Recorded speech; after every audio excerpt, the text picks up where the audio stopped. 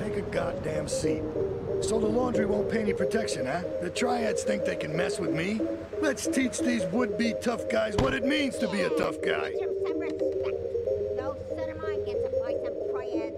God, God, the Yeah, sorry, Ma. rest his soul, but no crap from no triads. Yes, Ma. I want you to destroy their laundry vans and mangle any triad gimp that gets in your way. Eight Ball can supply you with what you're gonna need.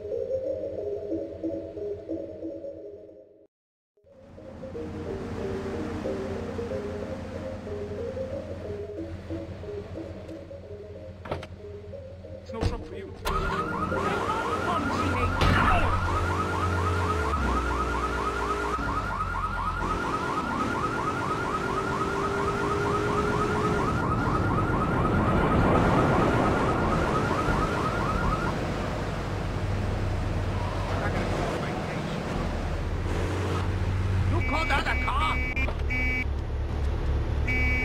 You maniac!